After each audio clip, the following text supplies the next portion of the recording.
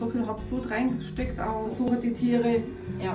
äh, wieder aufzumuntern und auch müß- möchte man auch, dass sie wirklich in ein gutes Zuhause vermittelt. Wir kriegen halt auch viele äh, Anrufe von Leuten, die dann auf einmal nach kurzer Zeit ihr Tier wieder abgeben möchten. Unser Anliegen ist halt einfach, dass die Leute sich genau überlegen, ob sie überhaupt Zeit für ein Tier haben, nicht nach kürzester Zeit halt das Tier wieder abzugeben. Und dann sage ich, sie können ja mal unverbindlich hier vorbeikommen, einfach sich die Katzen angucken. Den größten Teil holen sie dann noch die Katze, für die sie sich entschieden haben. Abgabe von Allergien oder äh, Besitzer verstorben, Fundtiere, wo einfach ausgesetzt wurden um. und können die Tiere dann nicht mehr in die neue Wohnung mitgeben.